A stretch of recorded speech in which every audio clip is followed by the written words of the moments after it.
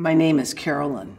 I am 66 years old. I mean, I've never felt more beautiful at 66 than ever in my life. I mean, that's really true. It's like I feel like I get to claim, hey, I'm not bad looking, you know, and um, it was never right before that. But, you know, it's a lot of trying not to listen to the negative messaging that our culture embraces I mean, it was a long haul because, you know, one of the things that is sad in life is I think that sometimes if you feel you're not attractive, you can find people who will tell you that. and so I did have some reinforcement along those lines. But I don't know, I mean, I had some positive experiences and uh, I married really well. that helped. and so I just, it's kind of like I grew into it. I actually just retired from being a psychologist. I just closed my practice, and I am also an artist, and I continue to be an artist. I do sculptures using the vocabulary of textiles, so I use knitting and stitching and uh, techniques that one uses with handwork and uh, non-traditional materials. And so in particular, I knit wire. I work with um, objects found in nature. Because my son and daughter-in-law are evolutionary biologists and ecologists, their, their conversations with me have really informed my work. So I work a lot with themes of ecology and evolution. The intergenerational friendships are very important to me. I seek them out because because I think that people of all ages have so much to offer. I thought I was pretty wise when I was young, and I was.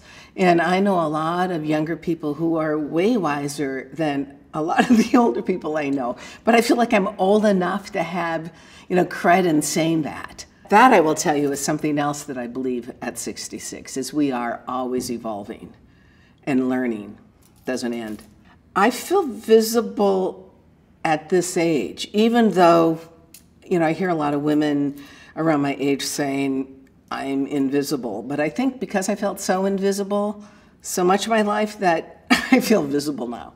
I make art out of sort of a intrinsic drive to create, and I in particular respond to the materials and the textual na nature of making the materials, but then as they build, I just feel like there's this inner dance of assimilation of my experience in the world and what's happening with whatever I'm making. And I believe that each person um, who creates art has has this this internal um, conversation that goes on. Really does give a unique voice in our art.